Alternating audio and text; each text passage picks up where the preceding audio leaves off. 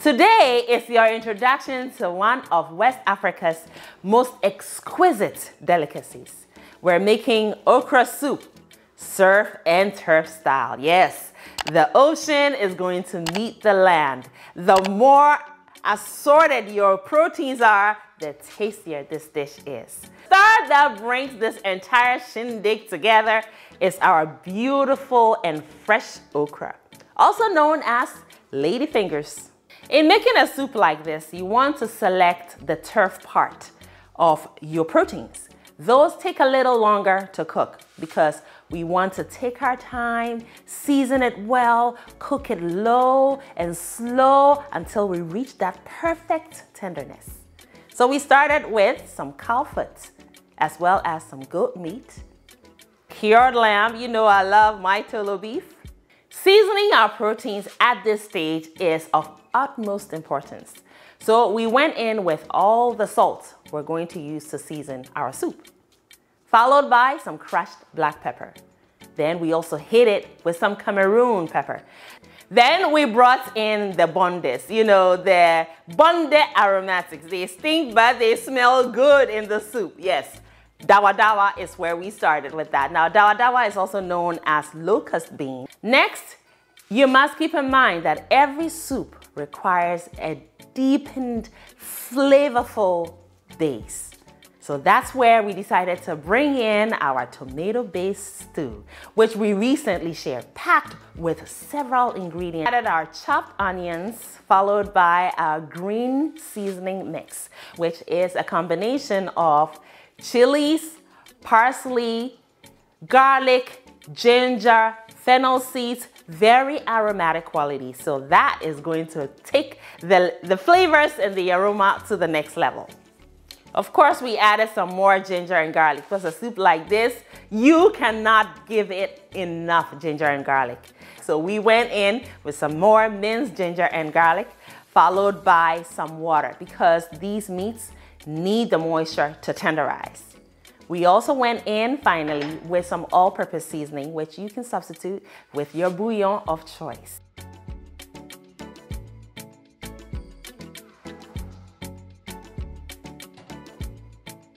We started cooking on medium-high heats for about 15 minutes.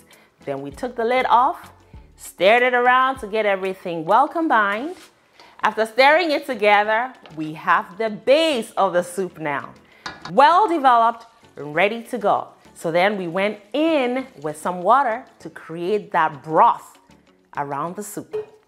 Then we turned the heat down to medium, cracked the lid a little bit open, so now it can cook and let the, some of the steam also escape.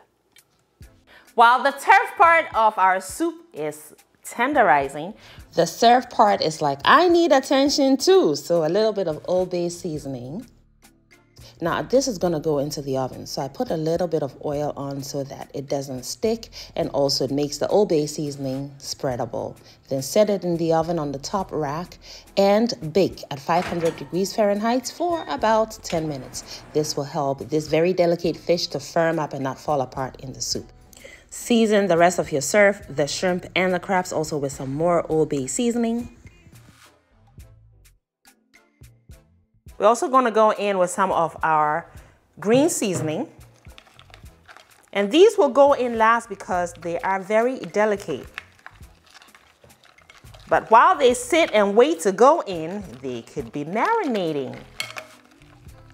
All right, this is great. Let's set this aside. It's coming very well together, y'all. Yes, we have reached the final stage of prepping our lady fingers or okra. I'm going to blend some and leave some almost whole. Yes, for texture. So what I do is I take the lid right off or the head right off like that. And that we discard. Then I cut them into big chunks for the blender. While you're cutting, you want to be looking out for those that are overly mature by trying to break the tip, the tail off. If it breaks off easily, then they are good to go. If it doesn't, more than likely it has too many strands in them because it's overgrown. You want to discard those.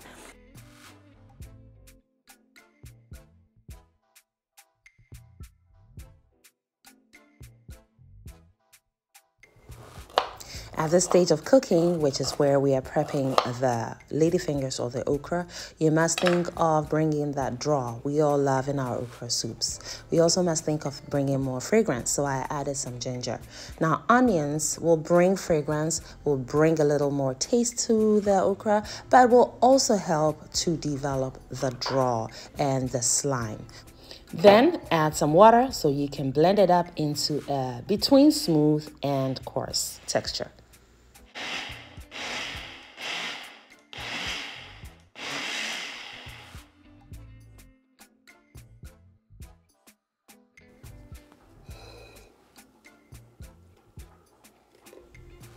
For the best results, you want to cook the okra separately. Just bring it to a boil.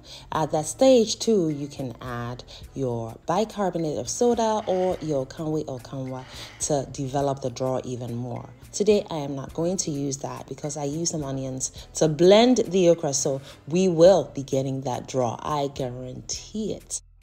And see now the blended okra has some texture, but it's nearer to the smoother texture. So we're going to bring more texture by cutting up some more okra into big chunks. Mm, this looks so good. And let me tell you, the final product had an incredible texture to it. It was great for presentation and it also made sense in that it was pleasing to feel all those textures in your mouth. Beautiful. The soup base is ready. I have tasted it and it is perfectly seasoned. And the meats also are perfectly tender. Not too tender to where they're melting in your mouth. They have a little bite or chew to it, and that is the texture we're going for. And the okra needs attention too. Friends, you want to go in and start stirring.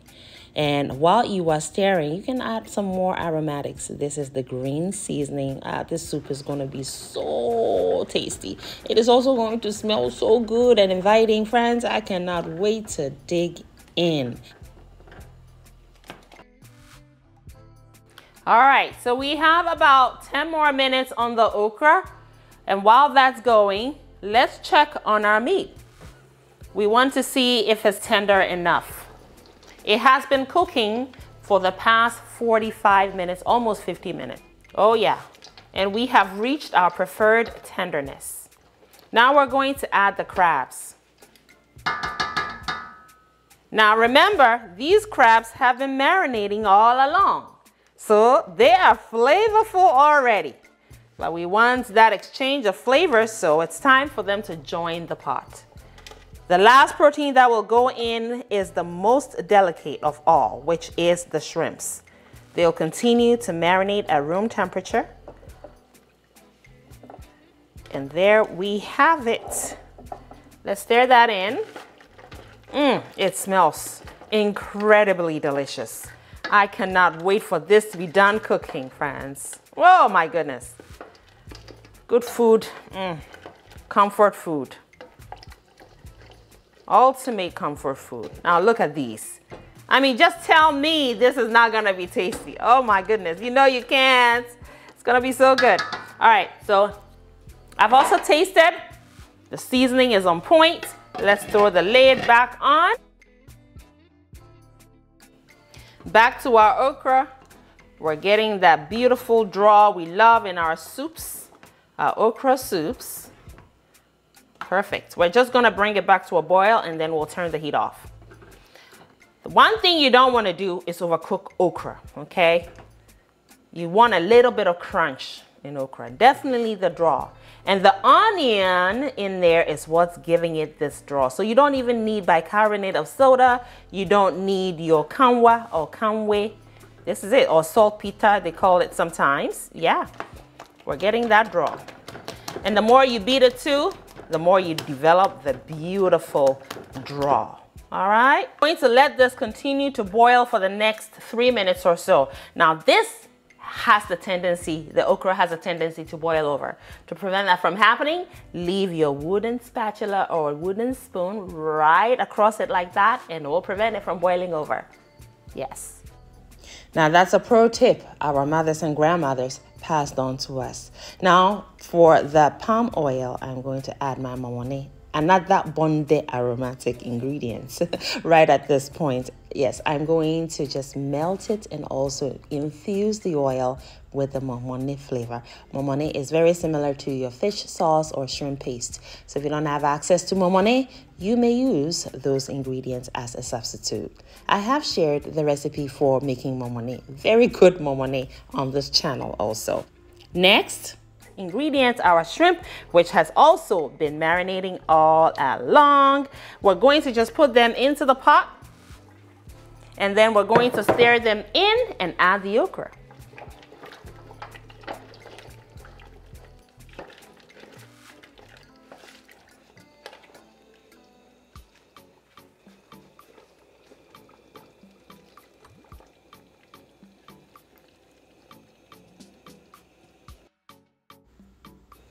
Now, we're making soup, right? So if you feel the texture at this point, or the consistency rather, not the texture, is too thick, you are very welcome to add some broth or some water to thin it up.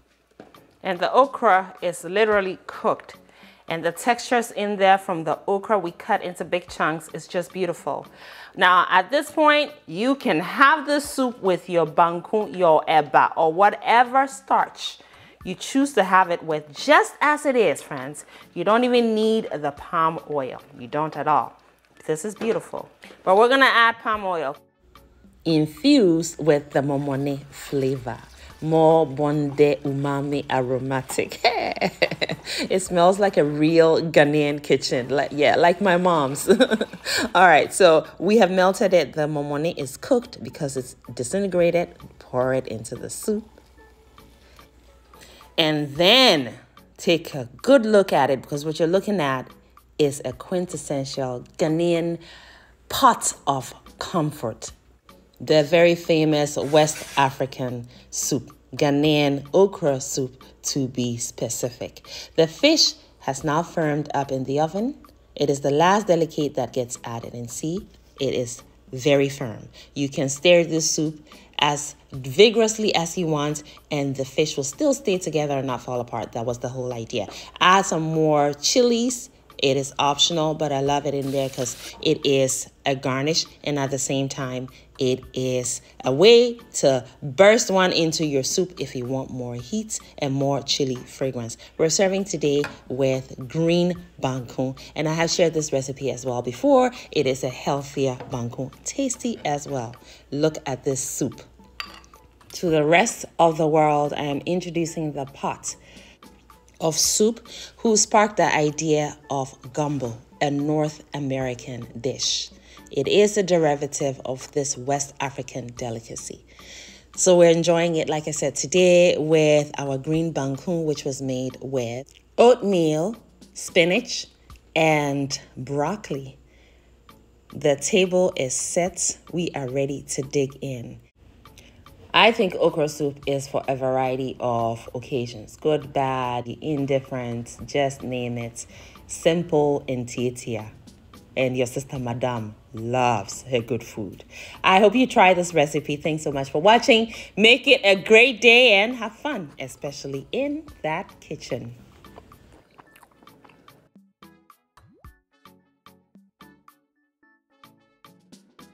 Thank you, beautiful person, for watching the video all the way to the end. Kindly leave me a comment and subscribe down below. And don't forget to share the video as well. Also, watch more videos. It is chop time. And here in Nanaaba's kitchen, chop time is always yes, friends. So pull up a chair. We are all friends and family here.